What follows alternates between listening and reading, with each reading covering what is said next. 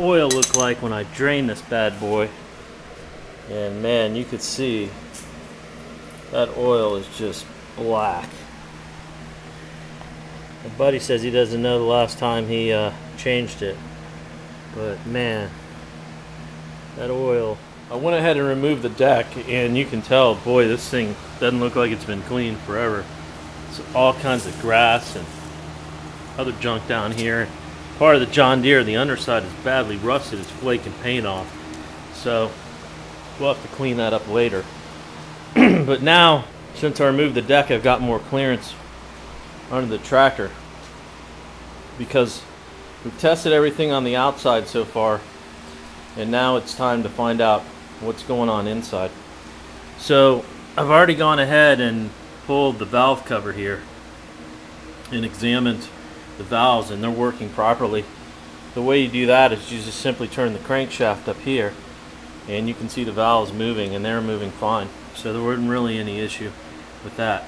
the next thing that we need to do then, since we know that there's really three internal working parts on this if you think about it, keeping it simple. You've got the crankshaft, you have also inside the motor the cam which moves the valves, both the intake valve and the exhaust valve, and those are working fine, so we know the cam's working fine. And then a third component, which we don't know about, and that's the piston.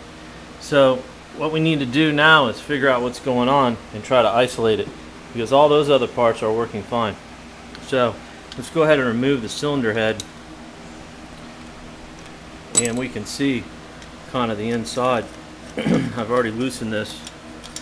We can take the head off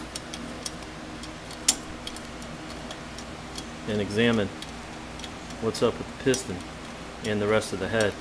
Uh, by the way, I want to mention too, what I did is I created a little diagram, which I'll show you in a second, on where these bolts are. Because this head has six or eight bolts inside of it. This is just one of them right here. But what I did is I went ahead and I created this diagram out of a just kind of a spare piece of cardboard. Probably didn't really need to do this. this has oil all over it, by the way.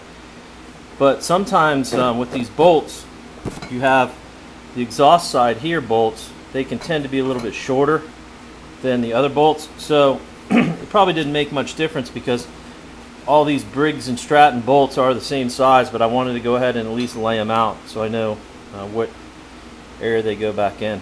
Call it being careful if you want, but when you start going to this level of working on engines, one thing that I've learned doing this is you want to go slow and you want to pay attention to detail.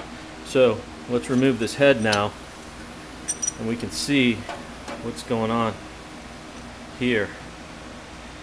And here's the valves. And boy, are those things carboned. In fact, those things look burnt to a crisp. You can see on these You've got the intake side and also the exhaust side. And here's the exhaust rod, the lifter for the valves. And then over here, wow, this thing's, look how bent this is. It should be straight compared to the other rod. Here they both are. You can see them both and that baby is definitely bent. This is made out of aluminum. Again, it's on the intake side. And this is the exhaust. This is made out of steel because obviously there's greater heat coming on that side. So that's obviously going to be need to be replaced. So let's take a look at the inner part of the engine and there's the piston back in there and inside of the cylinder wall looks pretty good.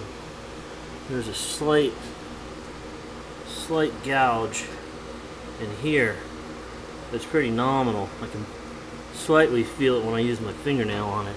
You can see all the carbon on the top of the piston head, which is in some instances uh, not a good thing at all, but not unusual considering how this thing was taken care of. So now if we come up here now and crank on the on the crankshaft, this piston should be moving.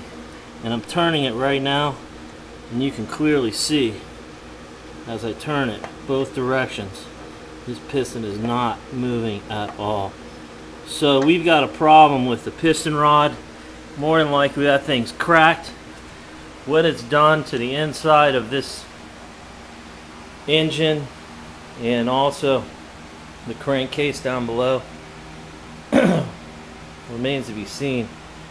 But we're to have to go to the next level and pull this whole motor off.